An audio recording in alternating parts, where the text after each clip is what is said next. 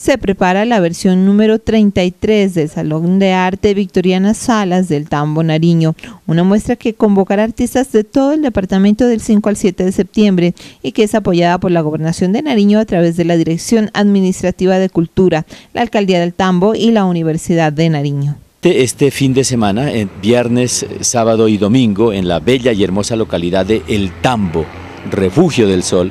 se celebra la quinta versión del Salón de Pintura Victoriano Salas que concita la atención no solamente en el nivel regional, nacional, sino también el interés internacional porque es un evento que se viene organizando con mucho juicio, con mucha responsabilidad para precisamente poner de manifiesto una de las expresiones más importantes que tenemos los pastuzos y los nariñeses. Además de la exposición departamental de artistas, están otras actividades que se realizan en el marco de del Salón Victoriano Salas, como el Seminario Nacional de Arte y el taller lúdico Arte al Parque, dirigido a niños y niñas. Lo importante es dinamizar todas y cada una de las diferentes actividades que se realizan en el departamento de Nariño. Estamos hablando del concurso de bandas en Samaniego, que es importante, el concurso de tríos en la ciudad de Ipiales, que es importante, Pasto recientemente celebró y de qué manera el cuarto encuentro de culturas andinas.